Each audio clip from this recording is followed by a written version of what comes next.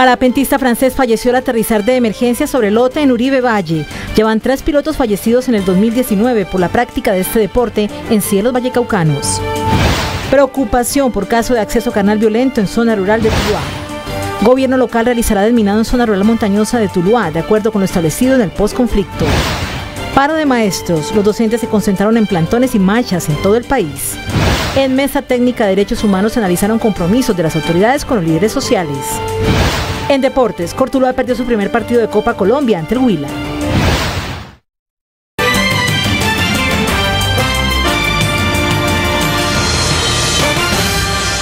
Bienvenidos a una nueva emisión en CNC Noticias. Iniciamos con información, pues una triste noticia en luta nuevamente al parapentismo.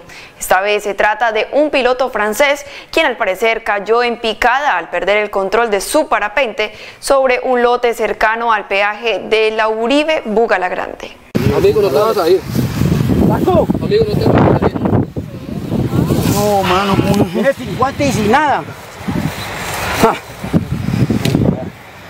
Ese es el momento en que la policía y socorristas intentan reanimar al parapentista que cayó en la tarde de este miércoles en un lote cercano al peaje de Uribe.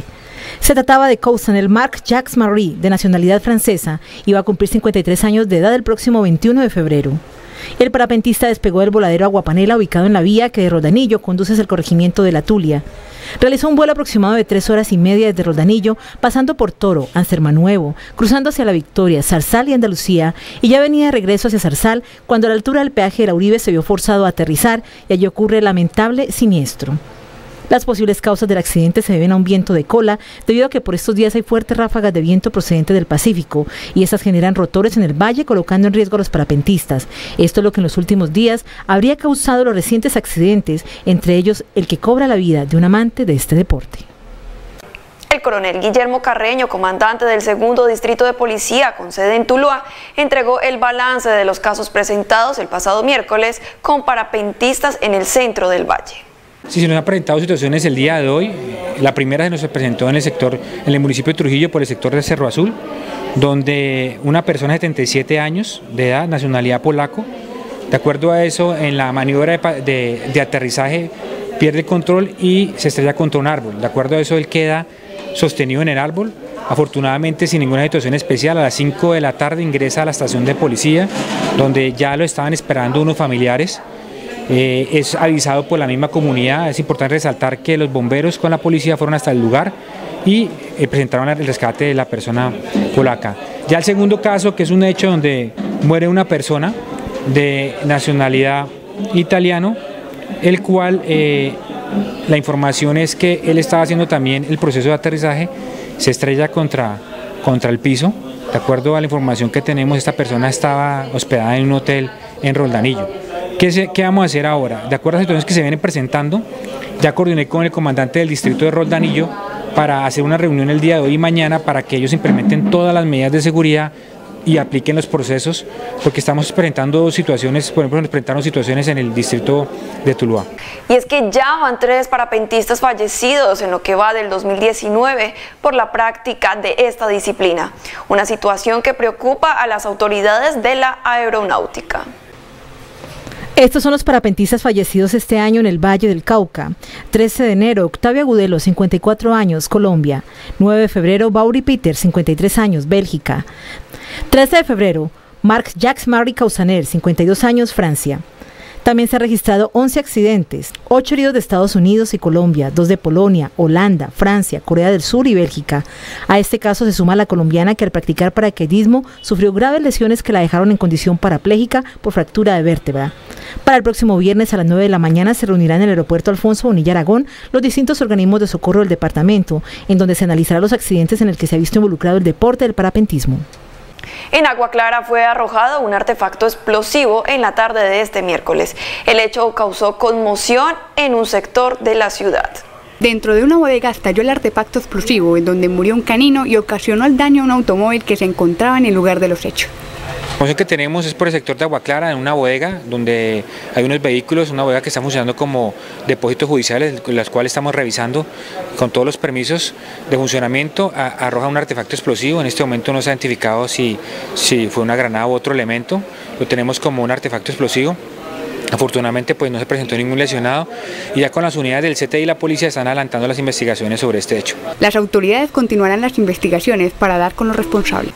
Una nueva denuncia por acceso carnal violento a una menor de edad se registró en zona rural del municipio de Tuluá. Un caso de acceso carnal violento se registró en zona rural del municipio de Tuluá, en el cual un hombre abusó sexualmente de una menor de edad. Sobre esta denuncia nos habló el secretario de Gobierno, Carlos Octavio Quitián. Tuvimos por parte de la comunidad una denuncia que presuntamente en un sector que está ubicado a dos horas 45 eh, minutos del casco urbano del corregimiento de Barragán, eh, un presunto caso de acceso eh, carnal violento en contra de una menor de edad de 11 años en incapacidad de resistir y sobre todo con toda la vulnerabilidad que tiene este núcleo familiar. Tras esta denuncia, la menor se le brindaron todas las ayudas necesarias para esclarecer la identidad del agresor y asimismo socorrer con el código rosa. Una vez conocemos esa denuncia ciudadana de manera inmediata, eh, los uniformados que tenemos ubicados en el corregimiento de, de Barragán se trasladan al lugar de los hechos. Eh, ubican la menor de edad eh, objeto de la presunta agresión y es puesta a disposición de la autoridad competente. Y nosotros en la parte institucional desde Tuluá trasladamos nuestro equipo interdisciplinario precisamente para eh, abocar conocimiento del presunto hecho. La niña, una vez puesta a disposición de la autoridad competente, se traslada a Tuluá en compañía de uno de su señora madre y entonces se activa de manera inmediata el código rosa. La niña es puesta a disposición de la Fiscalía para ampliar la versión.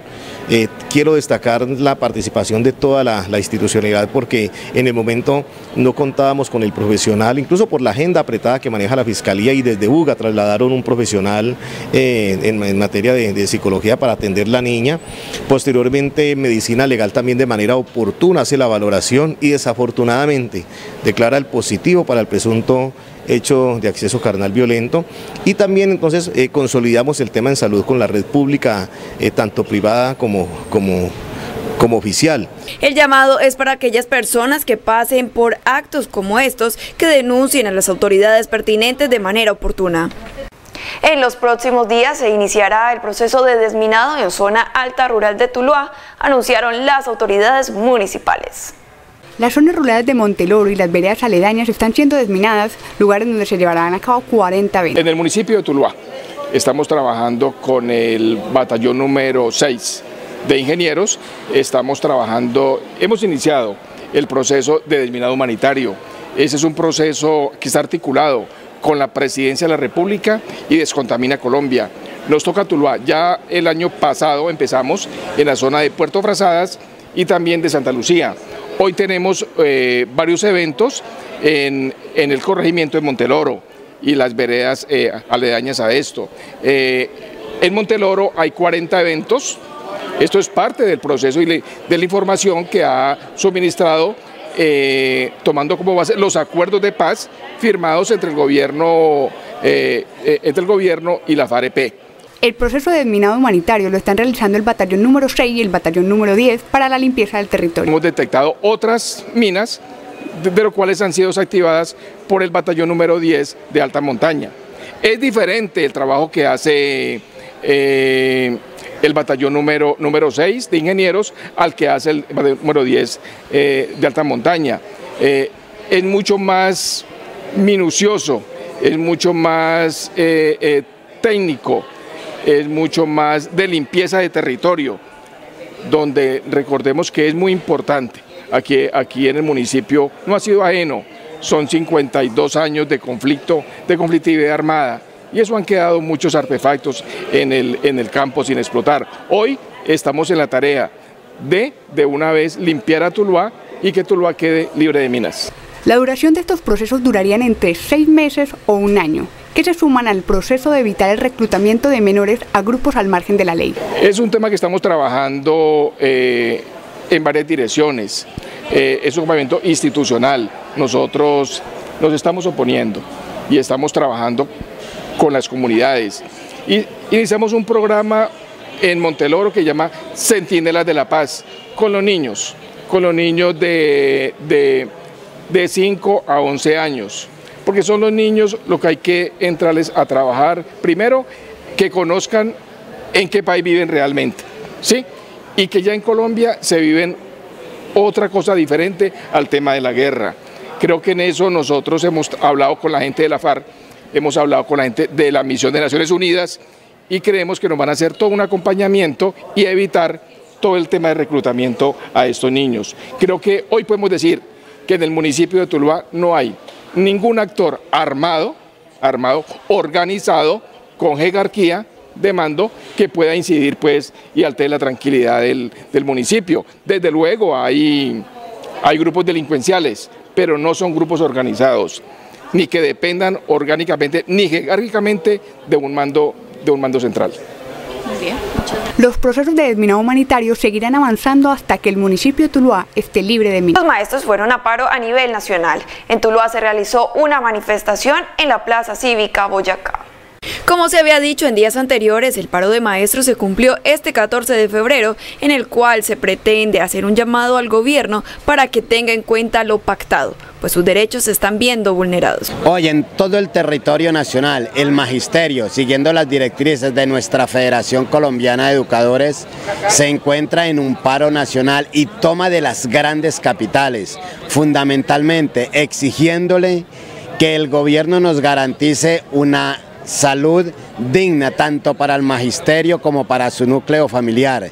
También estamos exigiendo en conexidad con la vida que garantice la vida de los líderes sociales y sindicales. También le estamos diciendo que en el plan de desarrollo que acaba de erradicar ante el Congreso de la República es nefasto para la educación, primero porque merma los recursos, tanto para salud como para la educación, y no reconoce los tres grados de preescolar, que es donde se forma el individuo en esos primeros cinco años de vida.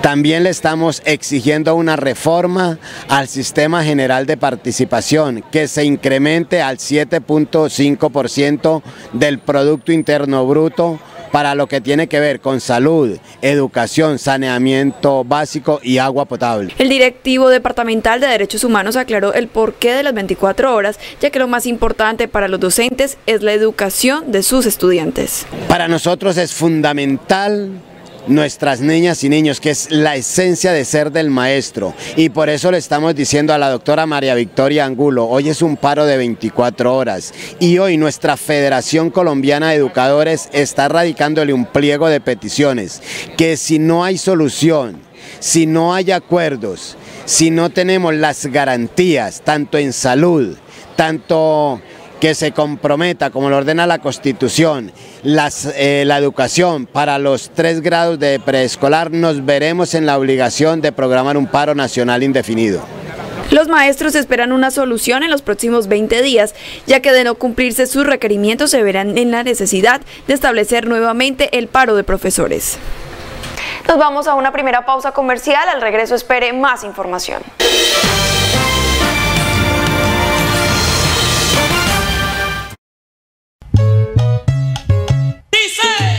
Vamos, vamos para Río Frío, donde maravilla, playa, brisa y río. Disfrute de un espectacular fiambre campesino, sancocho de gallina en fogón de leña, salida salónica. Allá nos vemos, donde maravilla, todos los domingos, viejoteca. Mmm, delicioso, donde maravilla nos vemos, playa, brisa y río. soy César Augusto Bravo, gerente comercial del Grupo Empresarial Alato. Les tenemos, ¿dónde comienza esta historia? En esta fábrica de concentrados producimos la comida para todos los animales, para las vacas, para los cerdos, para todos los animales. Aquí de esta fábrica nacen los 40 años de experiencia en el Ato. En este almacén, en el almacén número 1, el Ato, en la plazuela de Tuluá o en este almacén, en el almacén número 3, en la carrera 22, número 2931, los esperamos. Venga, estamos de precios de locura, especialmente en la mogolla en los concentrados. Venga, ahorita vámonos a la granja. Las instalaciones son de alta calidad. Aquí cuidamos las BPM. Venga, la leche es óptima, es de alta calidad. Ahorita vamos a nuestro punto de venta. Soy César Augusto, gerente comercial del Grupo Empresarial Adapto. Ya estamos en nuestro punto de venta. Aquí, la leche 1500 pesitos. Esto es precio de locura. Venga, me encanta.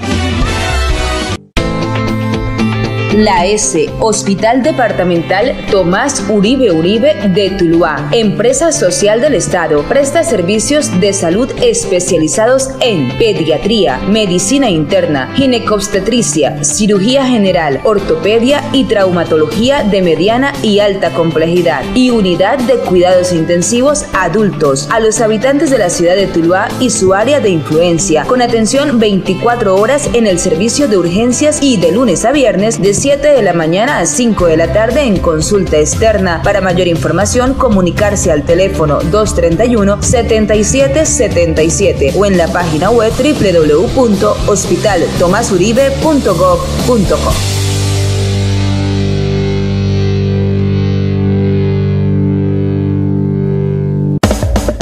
10% de descuento. Sí, 10% de descuento. Oyó bien, 10% de descuento, cancelando en febrero su impuesto predial unificado. Los comerciantes que paguen este mes su impuesto de industria y comercio obtendrán el 9% de descuento. Ahorre dinero y ayúdenos para que el cambio en Tuluá siga su marcha. Tuluá enamora. Gustavo Vélez Román, alcalde municipal. Ahí viene Kate, qué vergüenza. Ay, André, todavía con esas gafas rementadas. Vamos para donde los profesionales. En Óptica de Luz contamos con tecnología de punta, de la mano del mejor personal capacitado en alta calidad para el asesoramiento de sus gafas, con el nuevo dispositivo de medición digital iRuler, que realiza mediciones de forma rápida y precisa. Óptica de Luz me encanta y el examen es gratis.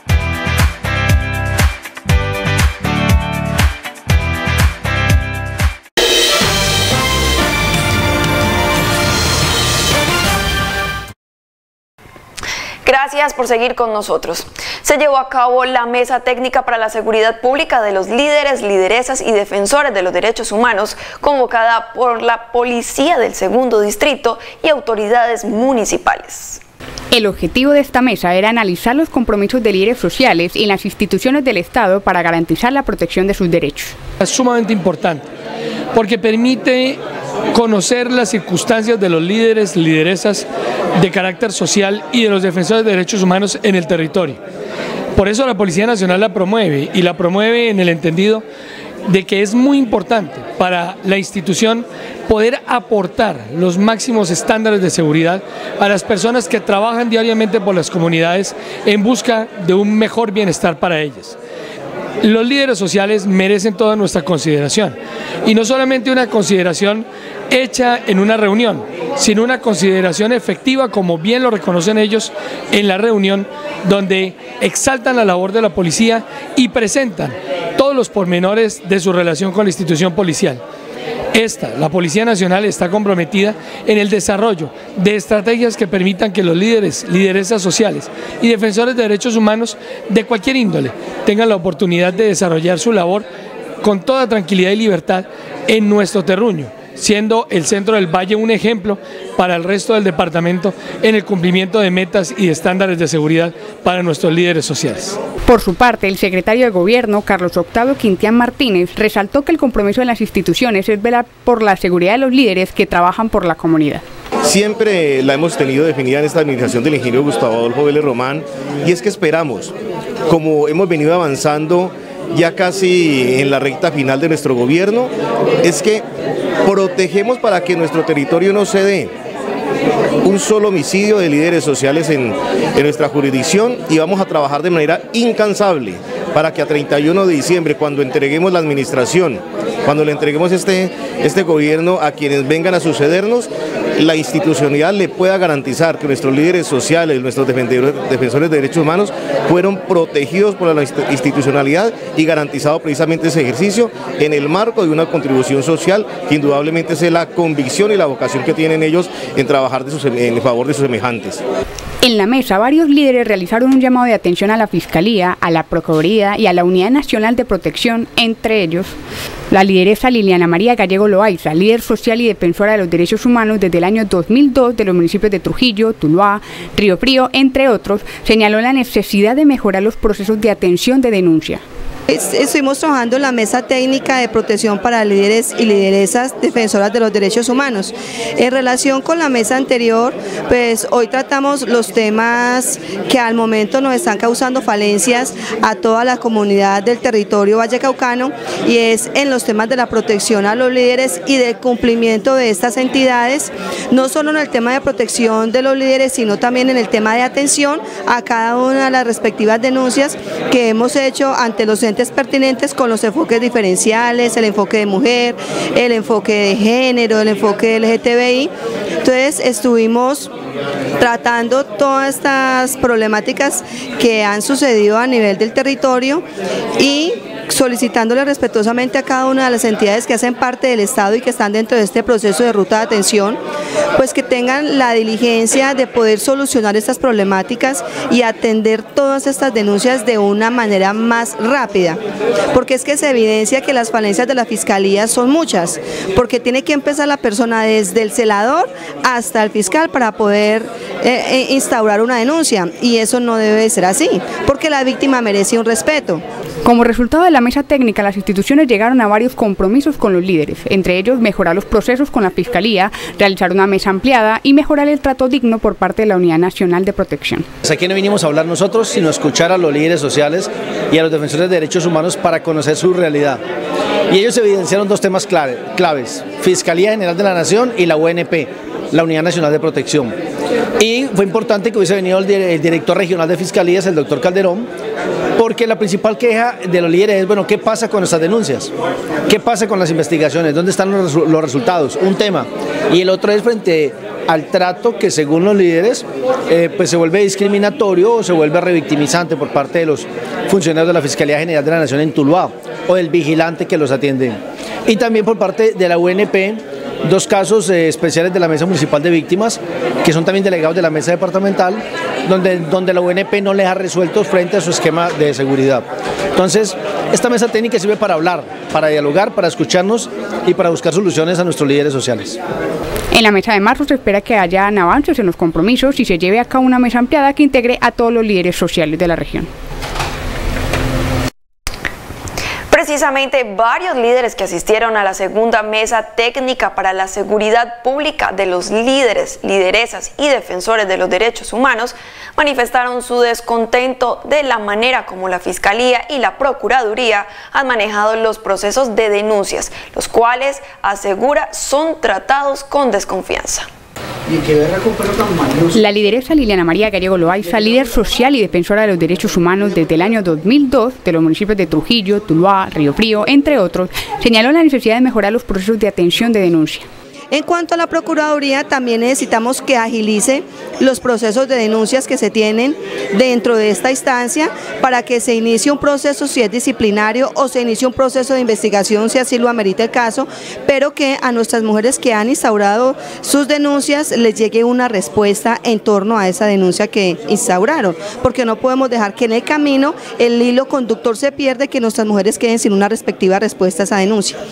Con la unidad de protección, pues la realidad es que la unidad de protección debe de manejar un respeto hacia los líderes y lideresas. Está bien que ellos son unos funcionarios y que ellos podrán tener algo más de conocimientos o de capacitación o de profesionalismo que nosotros, pero eso no les da el derecho a ello para que ellos vengan a tratarnos a nosotros como si fuéramos unos mentirosos, unos engañadores y todo lo que reportamos acerca de nuestra seguridad y la seguridad del territorio nos lo estuviéramos inventando. Porque es que nosotros somos líderes sociales porque nos nace, porque nos gusta, no porque a nosotros nos estén pagando un salario. Entonces eso hace la diferencia. Entonces necesitamos que la UNP maneje mayor respeto con el trato que le da a cada uno de los líderes cuando interponemos una denuncia, cuando van a hacernos la, la, visita o la entrevista para ellos mirar si estamos o no estamos en riesgo. Porque es que uno no puede partir como funcionario de la UNP uno no puede partir de la duda del líder social, porque es que somos nosotros los que estamos en campo y conocemos las problemáticas de territorio, ellos están en oficina. Entonces, el día de hoy básicos son fortalezas de la Fiscalía en el tema de atención, a todo, a todo lo que respecto a las denuncias. Eh, oportuna respuesta de la Procuraduría a todos los temas también que se han instaurado de denuncias. Y UNP que maneje el trato cordial, un trato humilde y de respeto para con todos los líderes y lideresas. Por su parte, la lideresa Sonia Estela Gómez resaltó otras de las dificultades que presentan los líderes con la Fiscalía y las funciones que desempeñan los líderes en sus comunidades. Porque es delicada la situación de todos nosotros, donde uno hace denuncios y muchas veces la Fiscalía, eh, en vez de colaborar, nos recrimina. No solamente a mí, a muchos líderes, como escuchamos ahí en la reunión. Muchos pusieron la queja de que la Fiscalía no, no nos colabora como en la investigación y en lo que está sucediendo a nuestro alrededor. Eh, lo que nosotros hacemos como defensores de derechos humanos es como colaborarle a las personas que a muchos que no saben ni leer ni escribir y a muchos que no les da miedo hablar, no saben cómo ir a, a una entidad a pedir una ayuda o un recurso. Los líderes esperan que sus quejas sean resueltas en la mesa técnica de marzo y puedan continuar con el fortalecimiento de los procesos que garanticen la seguridad de todos los líderes, lideresas y defensores de los derechos humanos en la región.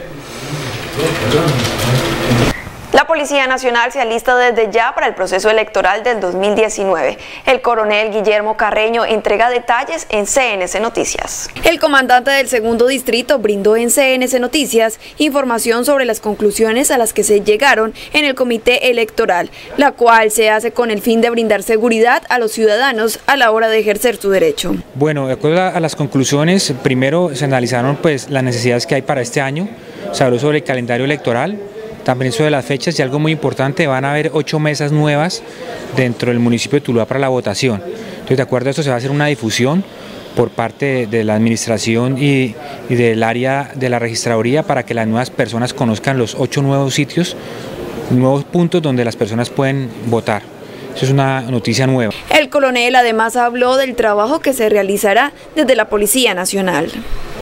También por parte de la policía pues vamos a estar pendientes de los, de los sitios, de todas las mesas de votación para prestarle toda la seguridad y también empezar a hacer la capacitación sobre el tema de los delitos electorales. A continuación, los indicadores económicos.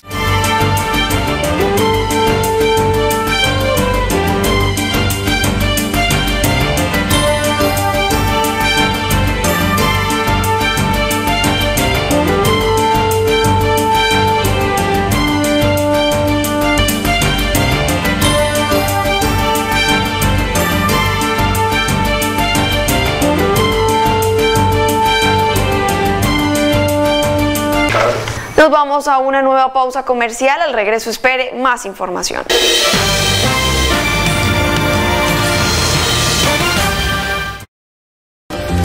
Majaba, Kifa, Baisanos, majitos queridos. Hoy no voy a hablar de arroz. Voy a invitar a los amigos que han viajado conmigo a San Andrés, México o Cancún. Esta vez los voy a invitar a mi país, país bello, maravilloso en historia y religión. Turquía, oh, qué lindo. Consulta mis planes llamando a mi Lulular al 315-536-8151. Y todo esto porque usted ya sabe quién soy yo.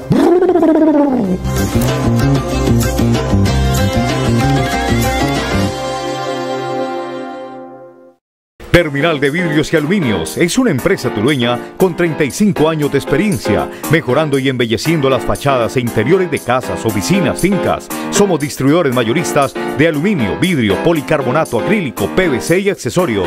En nuestro amplio portafolio encontrarás cielos falsos como el PVC y copor, estructuras en policarbonato alveolar, fachadas y divisiones en vidrio de seguridad. Invitamos a los vidrieros, aluminieros, arquitectos, ingenieros y maestros de obras a que nos visiten en la calle 27, número 18A10 en Tuluá Valle.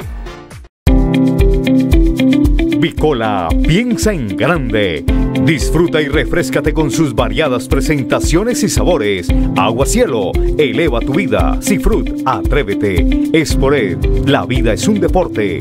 Contáctenos en la ciudad de Tuluá. Parque Industrial Bodega E10, correo, servicio el cliente arroba barriosicia.com o al teléfono 225-2581.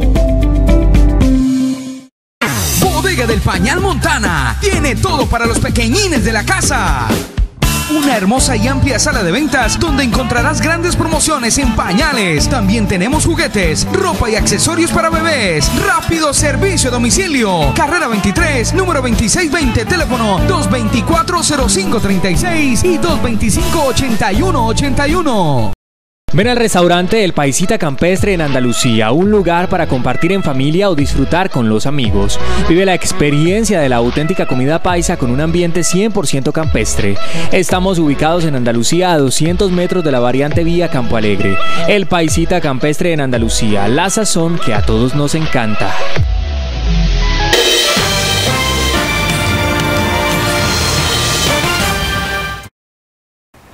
Gracias por continuar con nosotros y en un operativo coordinado por la Fiscalía General de la Nación, miembros del CTI de la institución con apoyo del Gaula Militar capturaron a cuatro miembros de la Policía Nacional capturados en flagrancia cuando supuestamente extorsionaban a un comerciante de Buenaventura.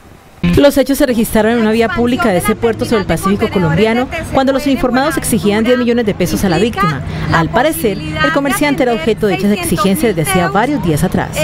Los hoy indiciados ostentaban los cargos de intendentes y patrullero y se les incautó dos pistolas Sig Sauer 9 milímetros, munición 9 milímetros, un revólver, 8 millones de pesos en efectivo, un vehículo y chalecos con los distintivos de la SIGIN.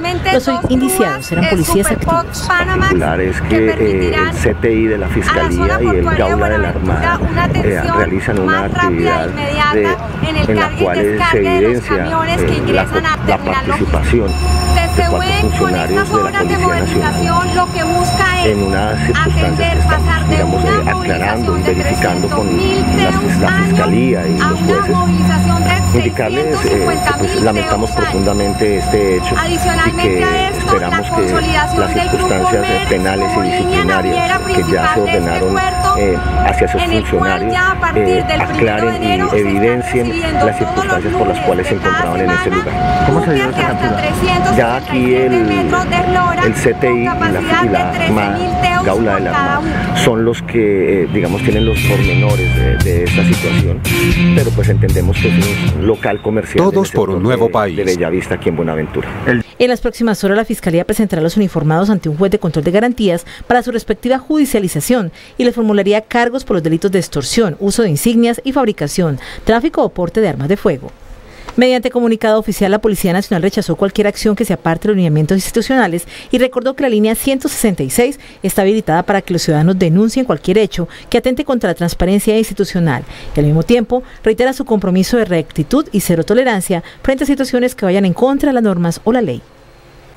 El mayor Héctor Fabio Toro, comandante encargado de la estación de policía Tuluá, confirma la denuncia sobre el hurto de un perro en el barrio La Graciela. Según la policía, aún no hay pistas del paradero de Teo, el perro que fue hurtado en la noche del lunes cuando su dueña lo sacaba a hacer sus necesidades.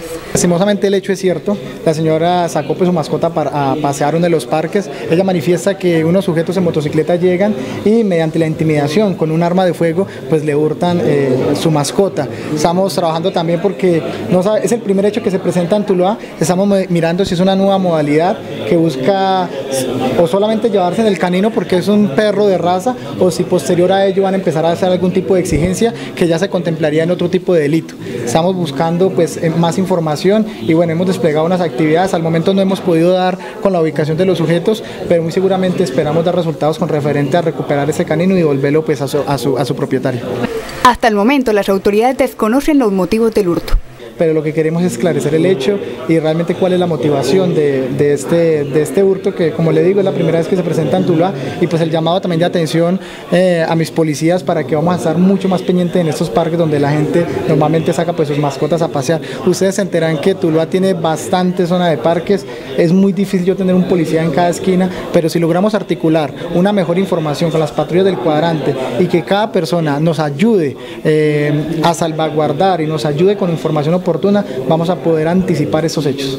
La policía continuará investigando sobre el hecho. Noticias de interés judicial en el Valle del Cauca en nuestro panorama regional. Gracias a un trabajo articulado entre las unidades policiales en coordinación con la Fiscalía General de la Nación y mediante informaciones de inteligencia, unidades policiales en el barrio de la Independencia capturaron a una mujer y aprendieron a un joven de 16 años de edad, quienes fueron sorprendidos con dos revólveres calibre 38, una pistola Ruger P89, una bolsa plástica hermética, la cual en su interior contenía una considerable suma de dinero que furtado en el parqueadero de un centro comercial.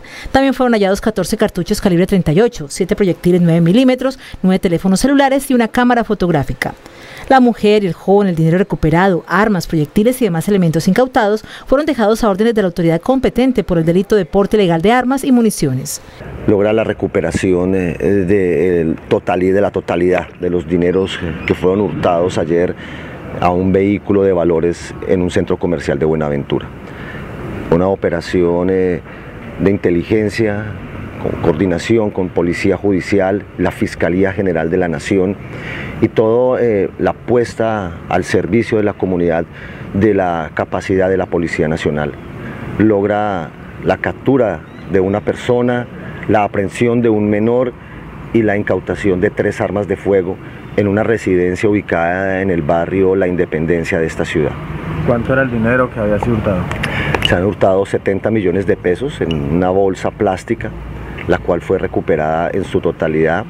Ayer en horas de la noche se realizó el conteo de, este dinero recuperado y corresponde a la totalidad del dinero que se había sido hurtado en horas de la mañana. ¿Se sabe cuántos asaltantes intervinieron ayer?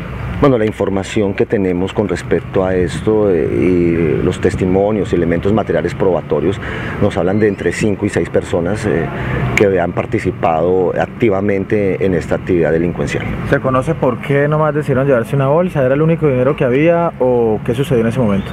Sí, era la información que tenemos solamente eh, en el vehículo de valores se transportaba esa cantidad y que no tuvieron tiempo de, poder eh, llevarse otros elementos eh, diferentes a, estos. Coronel, no es la primera vez que se presenta un hecho de estos en el centro comercial. ¿Han entablado ustedes conversaciones con ellos para alguna sugerencia en tema de seguridad? Bueno, aquí lo que tenemos que, entender es que había una planificación por parte de estos delincuentes precisamente en, temas de, horarios y en temas eh, logísticos para poder afectar a esta empresa de seguridad. Lo que hemos venido trabajando con los eh, gerentes de grandes superficies en Buenaventura, no solamente de este centro comercial, sino otros almacenes de cadena de grandes superficies, a partir de, todo un trabajo de la Policía Nacional con ellos en materia de recomendaciones y, digamos muy articulado para poder blindar eh, el trabajo y la actividad comercial de ellos. Se ha conocido de que hay unas personas heridas en este, en este hecho. ¿Qué se ha sabido de esto? Bueno, aquí la única persona herida de la cual se tiene conocimiento es un vigilante, el cual es agredido por uno de los asaltantes con un arma de fuego y lo golpean en la cabeza. Le producen una herida de la cual se está recuperando satisfactoriamente y que no reviste mayor gravedad. Es decir, en otro caso ninguno de los delincuentes salió herido, como usted lo manifestó el día de ayer. No, no, aquí lo que encontramos es que en el intercambio de disparos no se presenta, eh, digamos, afectación a la integridad de ninguna persona. Con ese resultado, la Policía Nacional en el Distrito Especial de Buenaventura demuestra su compromiso en preservar la seguridad. Arlen Baquiaza Chechegama fue capturado en una vivienda rural La Granja de Buenos Aires, Cauca, por servidores del Cuerpo Técnico de Investigación CTI con apoyo de unidades del Batallón Militar número 3 de la Tercera Brigada del Ejército. El hombre afronta la investigación por la Fiscalía Seccional por el delito de acceso carnal violento agravado. Los hechos fueron denunciados el pasado 4 de noviembre de 2018 por la madre de un menor de 7 años, quien aseguró que su hijo presuntamente fue abusado sexualmente por Baquiasa Chechegama. Durante la diligencia judicial, la mujer aseguró que el indiciado aprovechó su cercanía con el menor, ya que la madre de la víctima apoyaba los quehaceres en la finca donde habitaba Arlene Baquiasa. En las próximas horas, el indiciado será presentado ante un juez penal de la capital del Valle para la realización de las audiencias del control de garantías.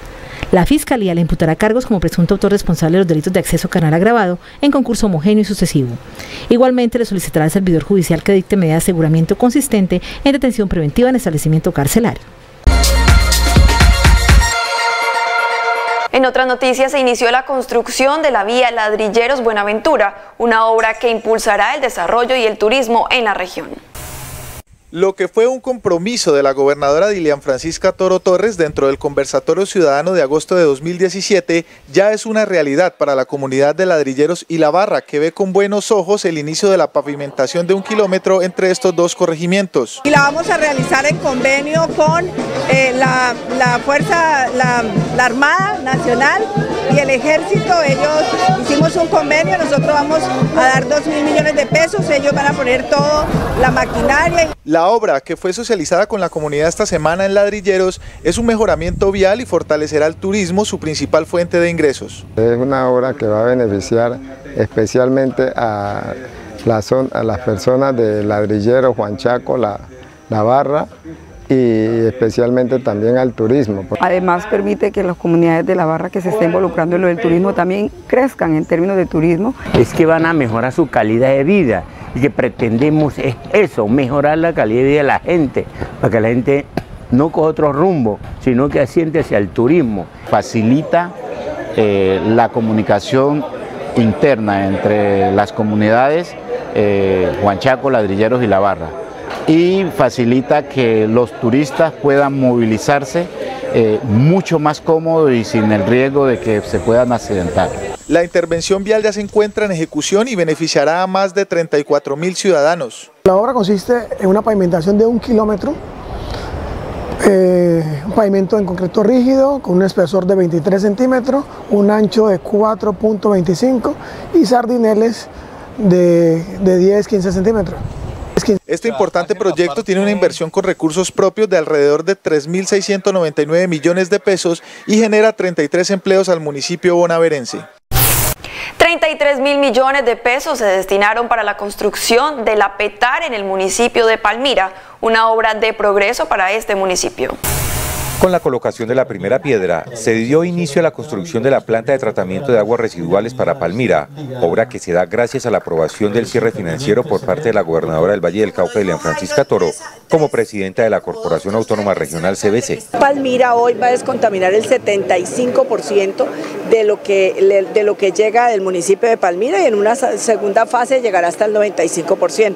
Así que eh, de verdad ambientalmente es fundamental. Serán más de 33 mil millones de pesos los que se invertirán en la construcción y puesta en marcha de la planta que contribuye con el saneamiento ambiental de Río Cauca a su paso por Palmira.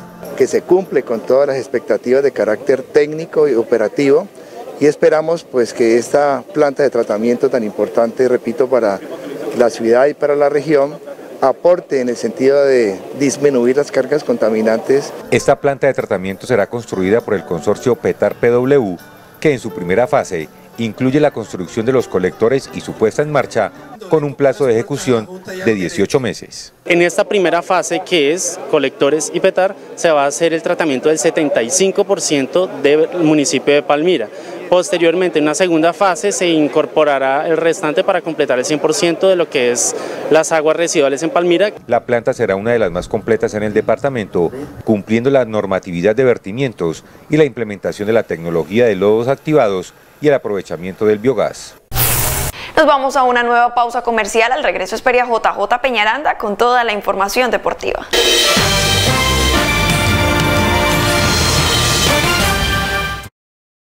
Prográmate desde ya para el evento familiar sin costo que con Fenalco Valle tiene para afiliados categoría A y B en el Club Colonial este sábado 16 de marzo. Podrán disfrutar de obra de teatro infantil, gato con botas, piscina, actividades lúdicas, estaciones de feria, legomanía, concursos y mucho más. Descarga ya tus boletas en eventosdelagente.confenalcovalle.com.co. Te esperamos este sábado 16 de marzo.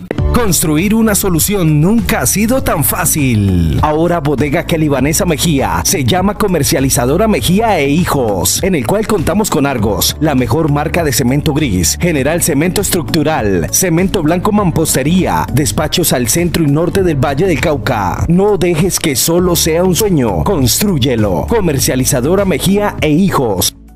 bonito y barato, su ropa. En Surtitex Tuluá tenemos todos los uniformes de los colegios públicos de Tuluá. Además, medias, camisillas, batolas, camibuzos, pantalones, sudaderas y mucho más para que regreses al colegio. Y lo mejor, nuestros precios de temporada escolar. Surtitex Tuluá en la calle Sarmiento número 2463 y en Buga en la calle Octava número 1252. Surtitex tiene su ropa en todo, todo para el hogar. Somos distribuidores de Corona y muchas líneas más. Se encuentra cristalería, estufas, vajillas. Visítanos para tener el gusto de atenderlos. Almacén Todo, calle 27, número 2144, teléfono 224-2680.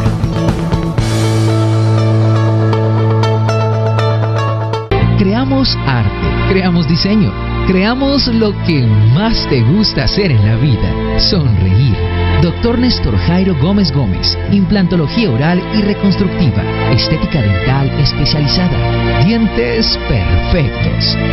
Entre los verdes cañaduzales del Valle del Cauca emerge la mejor empresa panelera del país. Panela El Trébol, producto colombiano con sello de calidad y con TEC. Bebida natural, que no le falte en sus hogares. Panela El Trébol, energía para toda la vida.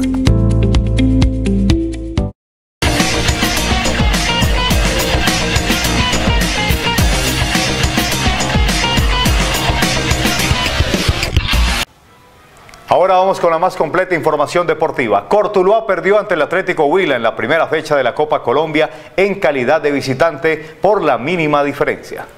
Atlético Huila hizo respetar su casa y superó por la mínima diferencia 1 por 0 a Cortuluá en el inicio del grupo G de la Copa y en duelo que se disputó en el estadio Guillermo Plaza Salcid. Un solitario tanto en Nicolás Roa a los 37 minutos del segundo tiempo fue suficiente para que los Sopitas empiecen con pie derecho su presencia en ese torneo y superaran a un conjunto vallecaucano que se la puso difícil con pocos espacios que ofreció a lo largo del encuentro. Córtula se encuentra en ese torneo en el grupo G junto con el Quindío, Huila y Orso Marzo. Son 36 los clubes que buscarán el título. El club campeón de la Copa tendrá derecho a participar en la Copa Libertadores de 2020 desde la segunda fase previa a los grupos. El canal CNC y Channel Plus realiza el cubrimiento especial al Tour Colombia 2.1. William Marulanda, enviado especial, nos tiene la siguiente información.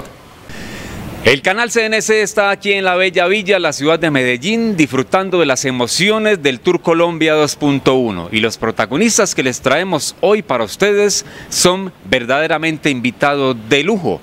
Hablamos inicialmente del ganador de la etapa en la ceja del Tambo, el corredor de Montería, que se hizo aquí en la ciudad de Medellín, el corredor del Q Steve Álvaro Hodge. Bueno, creo que toda la carrera se fue muy rápido. Eh, faltando 15 kilómetros se me reventó una rueda y me costó mucho volver a entrar. Pero bueno, el equipo estuvo fenomenal, se vaciaron por mí y esta victoria creo que es gracias a ellos. Sí, bueno, creo que Max es incondicional para el triunfo de todos los colombianos y por eso creo que todos lo queremos mucho a él. Sí, bueno, creo que este liderato es algo extra porque buscábamos la etapa y bueno, se vino el liderato que no fue algo que planificamos.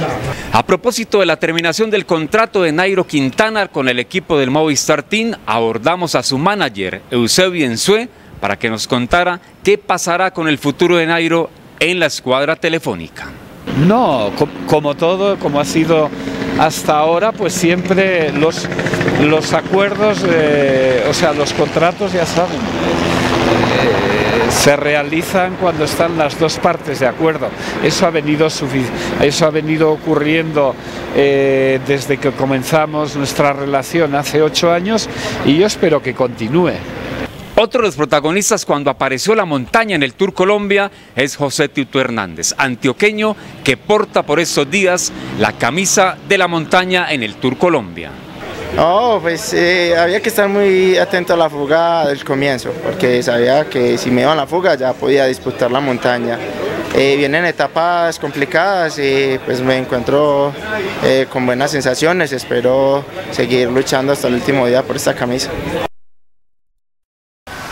Afiliado con Fenalco Valle de la Gente. Te esperamos este domingo 16 de febrero en el Club Colonial para que vivas junto a tu familia de estaciones de juegos para niños, stand de fotografías, rifas, concursos, inflables y la obra de teatro infantil Arcadia. Descarga tus boletas en eventosdelagente.confenalcovalle.com.co. Eventos sin costo para afiliados a Confenalco Valle categoría A y B. Recuerda, este domingo 16. En el marco del Tour Colombia 2.1, el enviado especial de Channel Plus Noticias le preguntó a tres especialistas si creen que el periodismo para el ciclismo ha evolucionado. Veamos las respuestas. Creo que, que, la especialización en los deportes ha ido siendo un, un, punto de preocupación para los colegas. Yo creo que cada uno de los deportes tiene pues un momento también en la historia y el deporte del ciclismo en, en Colombia, en Latinoamérica, eh, pues yo creo que merece la pena que haya más gente tratando de no solamente informar, sino de ir un poco más allá y de hablar de los protagonistas, de hacer más historias de color, más historias humanas y de esa manera eh, pues hemos visto un incremento de, de, la cobertura de la prensa.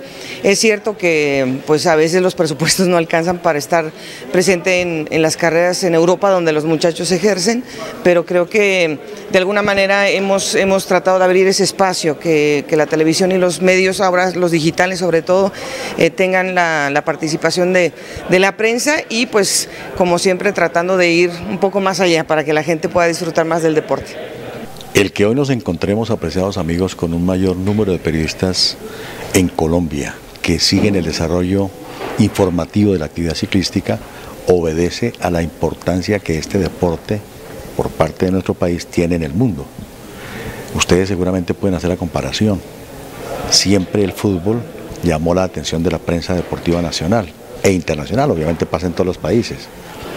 Pero el desarrollo del ciclismo, la importancia de la tecnología que lo pone a usted en contacto en cuestión de segundos con la noticia que se origina en las partes más alejadas del planeta, hacen que usted se interese por conocer qué está pasando en el deporte de las bicicletas. Sí, creo que, creo que en ese aspecto también es importante anotar eso, que eh, el impacto que ha tenido el ciclismo colombiano en la última década ha permitido que aquellos muchachos, aquellos chicos que quizá les gusta el ciclismo, pues se interesen en hacer periodismo con el ciclismo y eso es muy importante para nosotros que vemos efectivamente que llega una nueva generación a hacer periodismo. Y hasta aquí nuestra información deportiva. Una pausa y ya regresamos.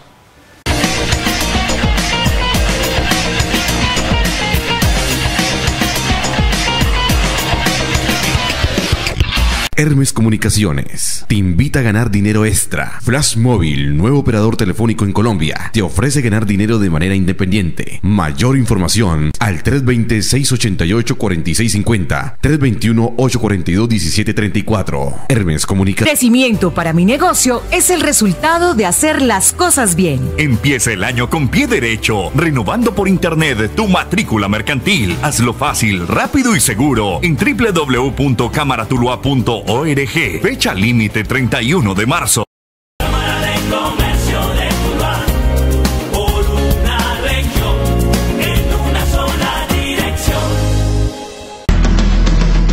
Seguridad Segal, líderes integrando servicios. Informe 225-0973. Celular 316-298-6844. Seguridad Segal, para su tranquilidad, con toda seguridad. Toda una organización a su servicio. En Materiales y Pintura La 30 Esquina siempre innovamos con nuestros productos. Ven, renueva tu casa en Navidad y Año Nuevo con la calidad de materiales y pinturas La 30 Esquina. También tenemos pintura para la industria automotriz, arquitectónica, vinilos, lacas, esmaltes, poliéster y poliuretano. Visítanos en la carrera 30 2060, celular 316-629-3708, teléfono 224-5510, materiales y pinturas La 30 Esquina. Super giro, super super giro. Buenas tardes, ¿para realizar un giro? Buenas tardes. Lo que quieran. No importa la hora. Por amabilidad. ¿A quién se lo envías? A la ciudad de Cali. ¿Cuánto le envías? 150. Por rapidez. Lo que quiera a nivel nacional. Y seguridad. Puedes realizar tus giros a cualquier parte del país, a tus seres queridos o tu negocio. Con Super Giro. El giro que quiera a nivel nacional. Aló, aló Iván. No, mira que ya me llegó el giro. ¿Que ya te llegó el giro? Super giro. ¿En serio? ¿Tan rápido? Sí, rapidísimo. Y a las manos correctas llegará Supergiros.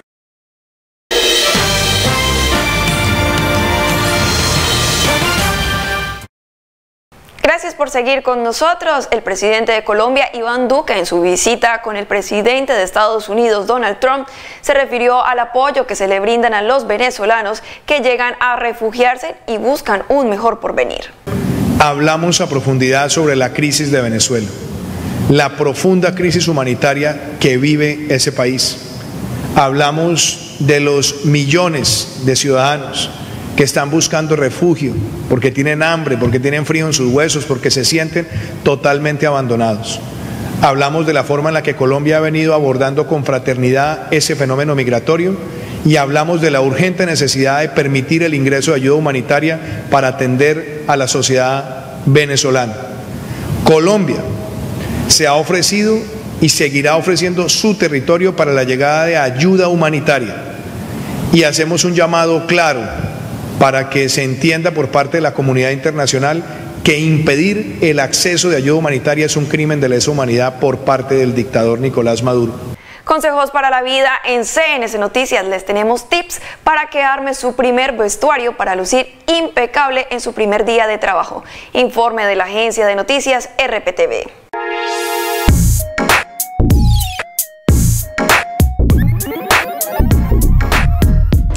El ingreso al mundo laboral presenta una serie de retos. Uno de los más grandes es elegir correctamente el vestuario que vamos a llevar.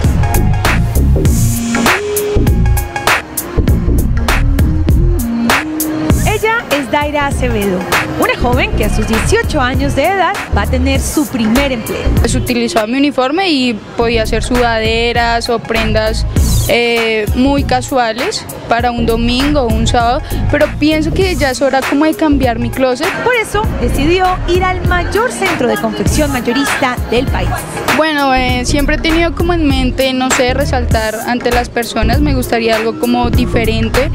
Ella está buscando las prendas básicas que todo ropero de trabajo debe tener. Camisas, chaquetas, pantalones de vestir, sacos y zapatos en colores neutros. Todas son piezas fácilmente combinables entre sí. Y lo más importante, al gusto de esta Nobel trabajadora. Lo que tengo como pensado hacer. Bueno, sí, tengo ropa que puedo combinar con la que compré, pero igualmente quiero como cambiar todo mi closet porque ya es hora como de madurar un poquito más a la hora de empezar mi primer trabajo. 355 mil pesos se convirtieron en nueve prendas, que en sus diferentes combinaciones se traducen en más de 15 looks, que serán su sello personal. Las pintas que, que compré el día de hoy, fascinada con ellas, me encantaron la verdad. Lo que llevamos puesto es nuestra carta de presentación, por eso es tan importante elegirlo de manera correcta y lograr la mejor primera impresión posible.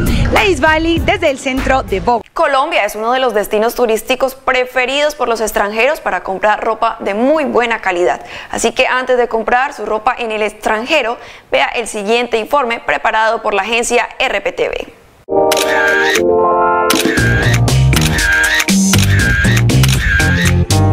Charpentier es francesa. En las redes sociales se encontró con la moda colombiana y fue tal el interés que le despertó que llegó hasta el centro de Bogotá a conocerla de primera mano. Hasta el momento he visto muchas cosas bonitas, o sea, de, mucha, de buena calidad, eh, buen precio y eh, mucha diversidad. De acuerdo con esta diseñadora europea, la confección nacional no tiene nada que envidiarle al diseño del viejo continente. La atención al detalle la ha convertido en referencia a nivel mundial.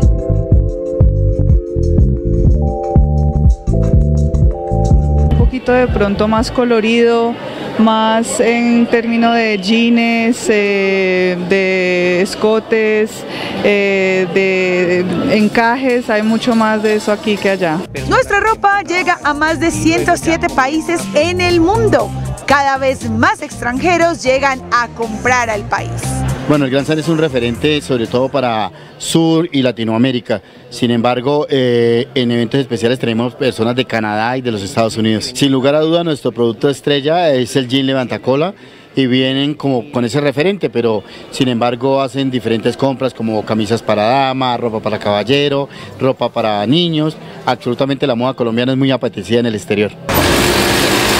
Colombia es el octavo exportador de confecciones en el mundo. Jeans, fajas y vestidos de baño son algunas de las prendas más apetecidas. Yo creo que aquí me llevo un poquito de todo, pero esta vez más estilo deportivo y tierra caliente, o sea, para verano que ya se acerca. Esta visitante se fue convertida en embajadora de la confección nacional y convencida de que acá todo es bueno, bonito y barato. Gracias San Victorino. Hasta aquí toda la información en CNS Noticias. Recuerde seguirnos en nuestras redes sociales, donde nos encuentran como CNS Tuluá o en nuestra página web www.teluroproducciones.com.